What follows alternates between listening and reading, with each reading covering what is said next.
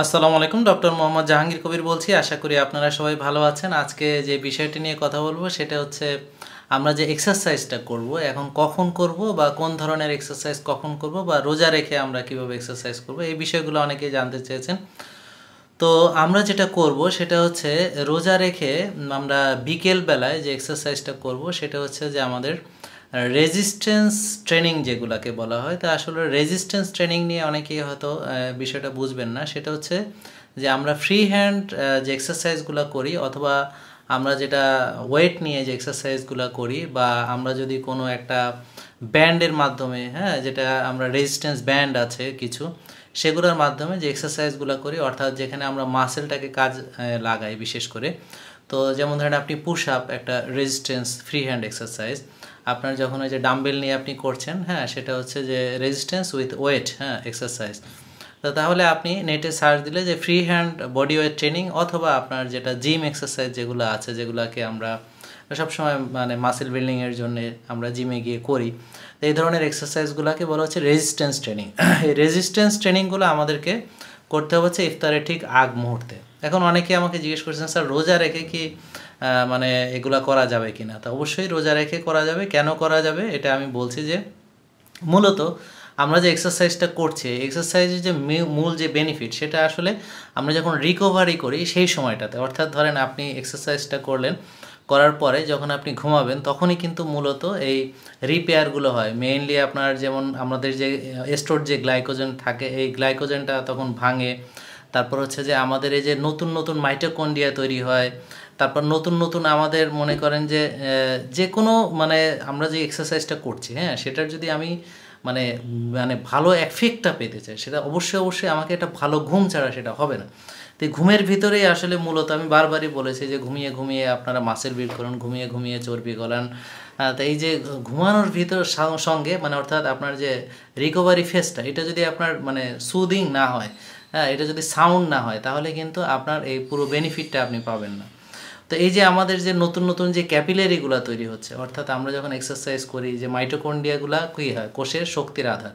এই মাইটোকন্ডিয়া যত বেশি আমার তৈরি হবে, তত আপনি ভালো অ্যাথলেট হবেন, তত আপনি বেশি শক্তিশালী হবেন। অনেকেই আমাদেরকে জিজ্ঞেস করেন যে স্যার, আমি মানে শক্তি পাচ্ছি না।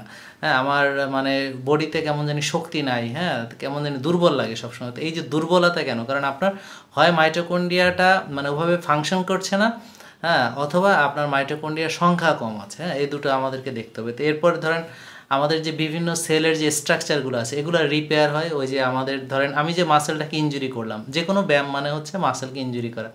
সেটা রিপেয়ার হবে হচ্ছে ঘুমের মাধ্যমে। তা আপনার এটার সঙ্গে ভালো ঘুমের একটা সম্পর্ক আছে এবং বিভিন্ন এনজাইমগুলো প্রসেসড হয় এবং আপনার, আমাদের যে ব্যায়াম করলে বিশেষ করে অনেক সময় যখন আমরা হাই ইন্টেন্সিটি ব্যায়াম করি, তো মাসেলে ল্যাকটিক অ্যাসিড তৈরি হয়, তো এগুলোকে ওয়াশ আউট করে ওয়াশ আউটটা হয় ওই সময়টাতে। এবং আমরা জানি যে গ্রোথ হরমোন যে বিষয়টা, বারবার বলছি যে আপনার গ্রোথ হরমোনটা আপনি যদি ব্যায়াম করেন তাহলে গ্রোথ হরমোনটা বাড়ে এবং আপনি যদি আপনার রোজা রাখেন বা ফাস্টিং করেন তখন আপনার গ্রোথ হরমোনটা বাড়ে এবং ঘুমের ভিতরে কিন্তু যখন আমরা যদি সঠিক সময়ে ঘুমাই তাহলে ওই সময় গ্রোথ হরমোনটা কাজ করতে পারে ভালো করে, ওই সময়টা গ্রোথ হরমোনটা রিলিজ হয়।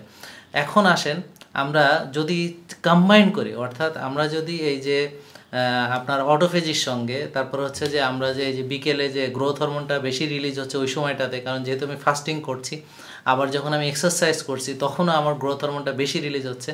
এবং রিসার্চে দেখা গেছে যে আপনি যখন ফাস্টিং স্টেটে ব্যায়ামটা করেন টোয়েন্টি টু থার্টি পার্সেন্ট আপনি বেশি ফ্যাট বার্ন করতে পারবেন। এবং আপনি ওই যে বিকেলের সময়টাতে যখন আপনি ইফতারের ঠিক আগের মুহূর্তে যখন রেজিস্ট্যান্স ট্রেনিংগুলো করেন, তখন আপনার টেস্টোস্টেরনের লেভেলটা বেড়ে যায়। কারণ মাসেল বিল্ডিং এক্সারসাইজ যেগুলো আছে, সেগুলো আমাদের যে টেস্টোস্টেরন বিশেষ করে আপনারা জানেন যে পুরুষদের যে সেক্সুয়াল যে হরমোনটা টেস্টোস্টেরন যেটা কিনা ইভেন মাসেল বিল্ডিংয়ের জন্য দেয়। হ্যাঁ তো এই যে টেস্টোস্টেরনটা কি হয়? এটা বৃদ্ধি পায়, ওই সময় অগমেন্টেশন হয়। হ্যাঁ বেশি বেশি টেস্টোস্টেরন রিলিজ হয়। তো সেটা আপনাকে সত্যিকার পুরুষ হতে সহায়তা করে। তো এই সময় এই কাজগুলো কখন ঘটছে? যখন আপনি মানে ফাস্টিং স্টেটে ব্যায়ামটা করছেন। এবং আপনি যেহেতু ব্যায়ামও করছেন সে ব্যায়াম একটা কারণ যেটা গ্রোথ হরমোনকে রিলিজ করতে সহায়তা করে। আবার আপনার ফাস্টিং একটা কারণ যেটাকে গ্রোথ হরমোনকে রিলিজ করতে সহায়তা করে। সো দুটো মিলে একটা সিনার্জিস্টিক এফেক্ট পাওয়া যায়, বিশেষ করে আপনার ইভিনিং মানে ইফতারের আগের মুহূর্তে যে রেজিস্ট্যান্স ট্রেনিংয়ের এক্সারসাইজগুলো করলে। এখন আসেন, যদি আমরা অনেকেই বলে যে, ইফতারের পরে ব্যায়ামগুলো করতে, তাহলে ভরা পেটে ব্যায়াম করলে কি অসুবিধা হতে পারে? ভরা পেটে ব্যায়াম করলে প্রথম হচ্ছে যে আমাদের ব্যায়ামের যে মেইন উদ্দেশ্য, আমাদের তো আসলে অ্যাথলেট হওয়ার উদ্দেশ্য না, আমাদের ব্যায়ামের মেইন উদ্দেশ্যই হচ্ছে যে আমরা মানে বেটার হেলথ চাই। তো তাহলে এখন আপনার ওজন কমানোর যদি উদ্দেশ্য হয় বা চর্বি গলানোর যদি উদ্দেশ্য হয়, তাহলে আপনি খেয়ে ব্যায়াম করলে আপনি যে খাবারটা খেয়েছেন সেখান থেকে আপনার শক্তিটা পাবেন। আর যদি আপনি না খেয়ে ব্যায়াম করেন, আপনার চর্বি গলে আপনি শক্তিটা পাবেন। হ্যাঁ দেখেন দুটো ডিফারেন্সটা কি। মানে খেয়ে করছেন, অর্থাৎ আপনার খাবারের মাধ্যমে যে শক্তিটা আপনি গ্রহণ করলেন, সেখান থেকে আপনার এক্সারসাইজে ব্যয় হলো। তাহলে এখানে আপনার তেমন কোনো লাভ হলো না। তাছাড়া আমরা যখন খাই, খাওয়ার পরে ইনসুলিনটা চলে আসে, তো ইনসুলিনের উপস্থিতিতে ফ্যাট বার্ন হইতে পারে না। এরপরে আপনার আরেকটা হরমোন যেটা গ্লুকাগন যেটা কিনা ইনসুলিনের কাউন্টার রেগুলেটরি সেটা কিন্তু ফ্যাট বার্ন হতে সহায়তা করে। এটা কিন্তু আপনার যখন আপনি ফাস্টিং স্টেটে থাকবেন, ওই সময়টা গ্লুকাগনটা বেশি থাকে। আর আপনার যে ইনসুলিন যেটা, সেটা তো আপনি ইনসুলিন আর গ্লুকাগন এটা হচ্ছে কাউন্টার রেগুলেটরি ইনসুলিন বেশি আসলে অনেকে বলে ইনসুলিন তো অ্যানাবলিক হরমোন তো অনেকে এই জন্য মাসেল বিল্ড যারা করতে চান, তারা কার ব্লোড করেন। হ্যাঁ তো এতে হয় কি ইনসুলিন আস্তে আস্তে রেজিস্ট্যান্স গ্রো করে, অর্থাৎ তার ইনসুলিনটা আর ভালো কাজ করতে পারে না। বরং আমরা যেভাবে করি যে ইনসুলিনের সেন্সিটিভিটি যদি বাড়াতে চাই, তাহলে আমাকে খালি পেট এক্সারসাইজ করতে হবে, অর্থাৎ আপনার ফ্যাট বার্ন করতে হবে, তাহলে আপনার ইনসুলিনের সেন্সিটিভিটি বাড়বে। এখন যদি ইনসুলিনের সেন্সিটিভিটি বাড়ে, তাহলে ইনসুলিন বেটার ফাংশন করবে। আপনার যেই মাসেল বিল্ডিং তো হবেই, তাছাড়া অন্যান্য যে নিউট্রিশনগুলো সেগুলোকে সে ব্যবহার করতে বেশি পারবে। এখন কার্বস আমরা খেয়ে ব্যায়াম করলে যেটা হচ্ছে যে, আপনার ইনসুলিন লেভেলটা বেশি থাকছে গ্রোথ হরমোনটা কম থাকছে, এবং ল্যাকটিক অ্যাসিডটা বেশি। আমরা জানি যে গ্লুকোজকে বার্ন করে যদি আপনি কোনো এক্সারসাইজ করেন, তাহলে আপনার ল্যাকটিক অ্যাসিড তৈরি হয়। এই যে যে যখন আমরা হাই ইন্টেন্সিটিতে করি, তো এই ল্যাকটিক অ্যাসিড আপনার কি করে? যে এটা ওয়াশ আউট হওয়ার জন্যে আপনার কি দরকার? আপনার একটা ভালো ঘুম দরকার রিল্যাক্সেশনের দরকার এবং এটা আপনাকে, এটা কিন্তু বাইট করে। আমরা যারা ম্যারাথন করি বা আরও যারা লং ডিস্টেন্স রানিং করি, জানি যে একটা সময় গিয়ে যখন ল্যাকটিক থ্রেশহোল্ড আমরা ক্রস করি, তখন কিন্তু ল্যাকটিক অ্যাসিড এটা মানে বাইট দেয়। অর্থাৎ তখন আপনার মাসেল ক্রাম করতে পারে। তো যাক সেটা ভিন্ন আলাপ। তো এই যে ল্যাকটিক অ্যাসিডের মাত্রাটা বেড়ে গেলে সেটা কিন্তু ফ্যাট বার্নিংয়ে সহায়তা করে না, বরং উল্টাটা। আর ফ্যাট বার্নিংটা যদি আমার মেইন উদ্দেশ্য হয়, তাহলে আমাকে ব্যায়ামটা মেইনলি করতে হবে হচ্ছে যে ইফতারের ঠিক আগ মুহূর্তে। যদি আমরা বডি বিল্ডিং চাই, যদি আমরা ফ্যাট বার্ন করতে চাই, এবং যদি আমরা টেস্টোস্টেরন লেভেল বাড়াতে চাই। আর মর্নিংয়ে আমরা অ্যারোবিক্স কিছু এক্সারসাইজগুলো করব, যেটা হচ্ছে যে একেবারে আপনার সুদিং যেগুলো অটোফেজিটাকে আপনার মানে কি করবে অগমেন্টেশন করবে বা অটোফেজিকে স্টিমুলেট করবে আরও বেশি করে।